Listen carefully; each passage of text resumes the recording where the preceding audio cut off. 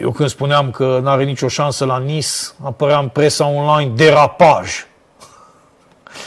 Copiii ăștia care n-au proprietatea termenilor săracii, ei, pe undeva, sigur, nu-i numai vina lor. Ei s-au născut într-o epocă în care nici nu mai exista presă. Cum dracu să fii un om corect, un om onest, să-ți faci meseria? Ei au prins din zbor numai găinăriile astea, numai ticăloșiile astea, alertele astea goale de conținut. Da? Intri pe o alertă pe care ți-o trimite un site ăsta românesc și nu există nimic în spatele ei. Ele sunt făcute doar așa, ca să te atâțe un pic. N-au niciun pic de conștiință profesionale. Alertele nu sunt făcute. Tu faci trafic pe alte chestiuni. Alerta înseamnă în abonamentul da, celui care uh, asumă acest risc să-l informezi mai repede cu ceva. Adică este un fel de breaking news. Da? Nu trebuie să te trimită să descoperi același conținut pe care tu l-ai descoperi și dacă ai intra fără să te ghideze alerta. Eu nu înțeleg nimic din presă.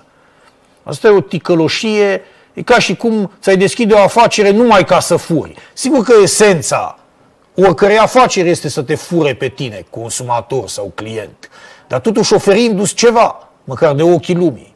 E bine, mai nou am ajuns, asta așa e și la restaurante, le spun tuturor stâmpiților care cred că dacă și-au deschis un restaurant, aia înseamnă o afacere. Absolut deloc. Aia înseamnă doar un furt.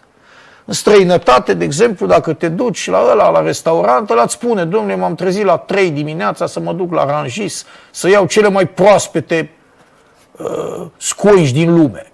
La noi, dacă te duci, ăla le cumpără pe cele mai ieftine, de un locul cel mai mizerabil.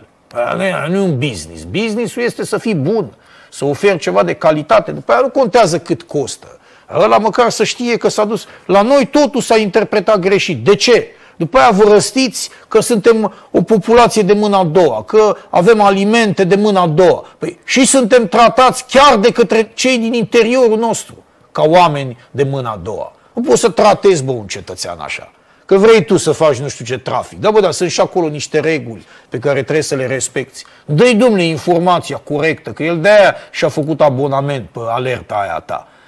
Altfel nu-i mai da. Aia au fost inventate de unii care se grăbeau să o dea înainte altora, cum ne regalăm noi în fiecare seară cu toate alertele lumii, fără să mai ai nevoie să citești nimic, fără să mai ai nevoie să vezi ceva, fără să mai ai nevoie să asculți ceva, doar din alertele civilizate ale principalelor surse media din lume afli absolut orice. Și nu mai ai nevoie nici măcar pe una dintre ele să o deschizi.